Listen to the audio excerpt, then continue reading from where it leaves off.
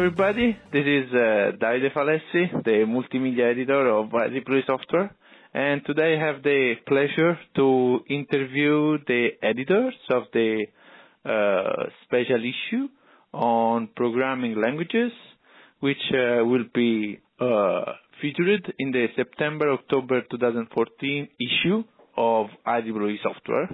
And the editors are Larry Tratt, who is an academic at the Department of Informatics within the School of Natural and Mathematical Science at King's College London, and Adam Welc, who is the principal member of technical staff at Oracle Labs uh, in the Virtual Machine Research Group in uh, California. So welcome, Larry, and welcome, Adam.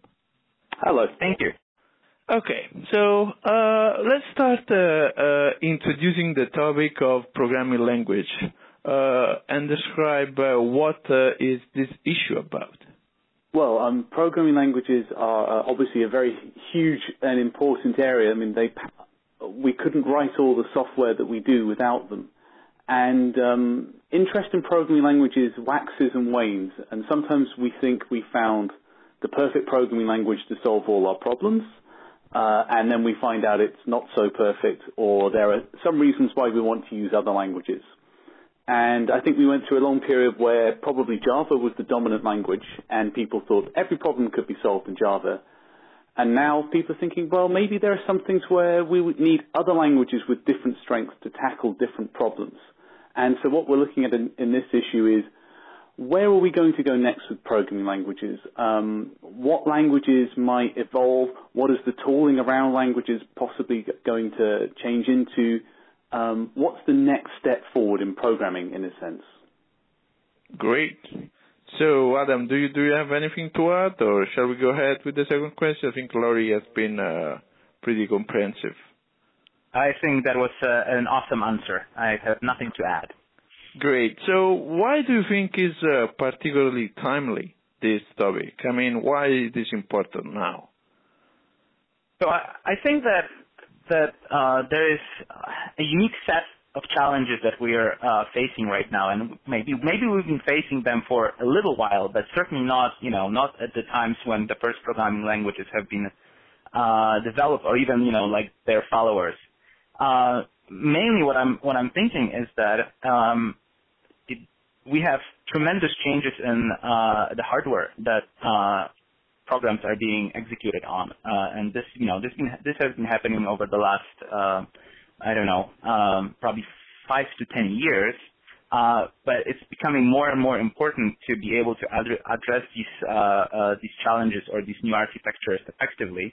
And uh, there has been a lot of changes in the programming languages in the attempt to actually address address those problems. And I'm thinking mostly about the fact that parallelism is now an important uh, um, aspect of uh, programming platforms, uh, but also with the rise of the mobile, uh, you know, we have we're facing challenges with uh, you know low power computations and how to actually cram all these uh, in- interesting and complicated computations into small form factors. Another thing that I think is what's making this topic very important and very interesting right now is that programming languages are so widely used these days. You know, in the old times, there was a handful of people that were programming these huge mainframes.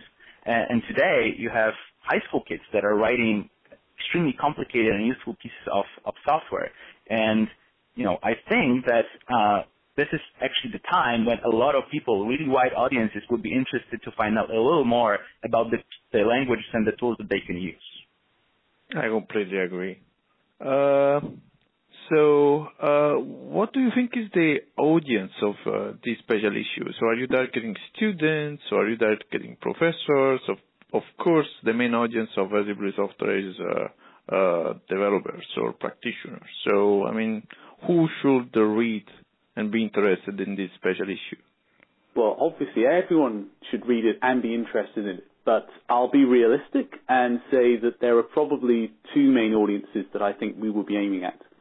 The first one is uh, current software developers, who I think will be interested to see some thoughts on uh, emerging technologies and techniques that may influence how they develop software in the future.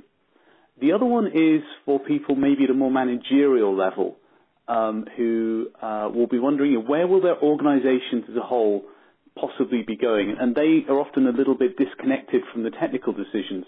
Uh, and this special issue may give them a little bit of an insight into what their developers are casting their beady eyes on as to the exciting tools that they'll be wanting to use in the future. Great. Uh, when uh, I have a problem with software engineering is that uh, I always see uh, software engineering uh, domain as a way to take decisions. So uh, in this case, when I look at programming language, uh, the first thing that uh, I think about is, you know, how can I choose them? So can you please specify some criteria on which uh, people should choose, or uh, if there is no uh, solid theory behind, I mean, how would you choose uh, the programming language to use? Well, uh, let me take that. Let me take that question. Um, so I, I think that um, the domain that you are targeting is uh, probably one of the most uh, important important criteria. Um, there are very general purpose programming languages in which you can, you know, imagine programming almost anything, but that doesn't mean that it's going to be convenient. So to give you a few examples, you can, you know, imagine writing uh, a database driver or, a, you know, sort of a little program that will access and manipulate uh, data that's stored in a database in, say, C or C++. But it wouldn't be super convenient. That's why there are domain-specific languages that are good at it, like SQL. So, you know, if you wanted to, to program a database or to get to manipulate data in the database, you know, that would be one of the main criteria for you uh, uh, for your choice of the language. It's which is more convenient and, better suited for that. Similarly, if you you know had an application, for example, that was heavy on string manipulation, um, yes, you could again write it in C or C++ or Java. But you know, languages, scripting languages like Python uh, are probably uh, better suited for that for that purpose as well. So the main is in my opinion, super important. Um, uh, the other um, uh, important thing is sort of what is your uh, target, um, sort of what are your target requirements? So some languages are good at, you know, writing, scripting, uh, prototyping very quickly, but are not very performant. So if you wanted to write, uh, you know, say um, an application that would have to run real fast, or would have some, uh, you know, timing constraints, or um, a power constraint, you would not write this application in, in a scripting language like uh, like JavaScript. Uh, this would require some special uh, specialized languages or, or languages that let you tap to sort of the the uh, real sort of low layers of the of the of the system, like operating system and hardware. So you would probably write it in C or, or language that is a little bit like C.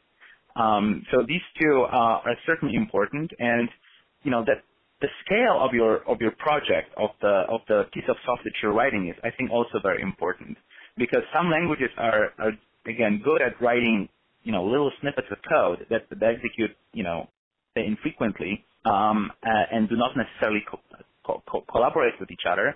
Uh, but are not so good at writing large pieces of software and you have multiple developers that write separate modules that uh, have to communicate with them uh, with each other uh, often and efficiently.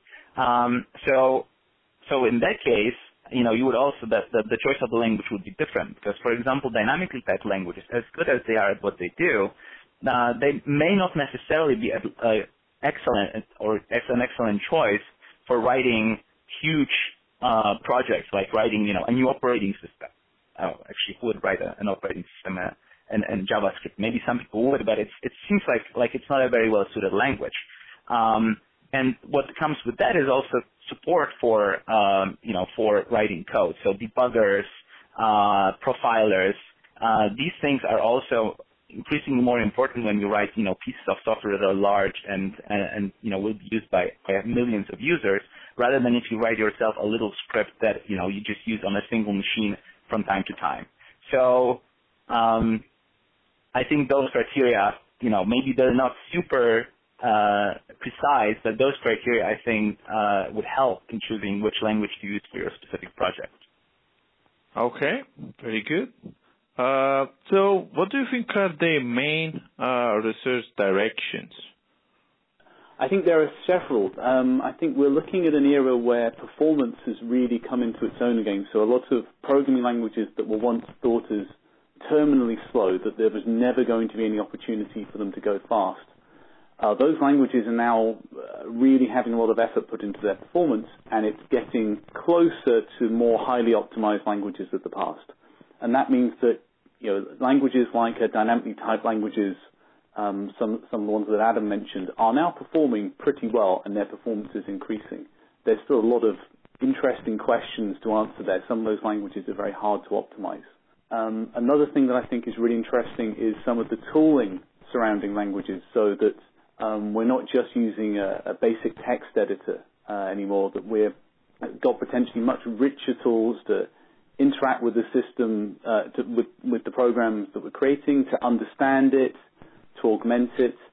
Um, and there's a lot of opportunity there to really drag tooling into a new era. Okay. So is there uh, anything uh, at all you want to add before we close the interview? I could maybe add a, a, a little bit to the uh, the research directions because I what I've been seeing recently is that uh, what's becoming sort of a focus of, of many people's research is what I would broadly call frameworks, and you know those frameworks they they sort of may have sort of different meaning in that, for example, there are frameworks that allow you to uh, implement multiple different languages while you're using uh, the same core components of uh, of the infrastructure. For example, you know, a, a machine or a compiler, and um, uh, there is a lot of interest around that. But frameworks are also things like, um, and we actually have a, an article about that on uh, in our special edition. Um, frameworks are also um, about tools. So, uh, you know, how to support multiple uh, or uh, multiple different languages um, within um, the same framework, within the same IDE, for example. This is also people are really interested in. So um, that's sort of my, my little two cents to uh, what Laurie already said about, about research directions. Maybe I could just follow up on one thing that, that, Adam said there, bringing out something actually from a couple of his previous answers. I think we're moving into a, a heterogeneous age of programming languages that people aren't just happy now to say, we'll use one language for everything we do. There, pe- people are increasingly happy to say, well, this part of our task, language X is best suited to it, so we'll use X there.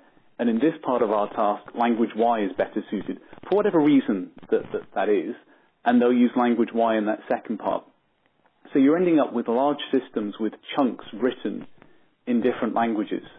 And uh, there's a much greater acceptance that that's a reasonable and, and often sensible thing to do that could, I think, lead to some very interesting uh, future directions because we're now looking at systems where they're not in a single language. Um, certainly, some of our research is looking at what happens when you mix languages together using some of the frameworks that Adam's mentioned. Um, we're in the very early days, but I think you'll see more and more of that sort of stuff happening. And again, some of the um, articles we have in the special issue touch on some of those factors. Wow, I'm very passionate about this. Okay. So, uh, thank you very much, Laurie and Adam, uh, for presenting uh, the your special issue on programming languages for the September-October 2014 IEEE software issue. Thank you, guys. Thank you. Thank you very much. Thank you. Bye-bye.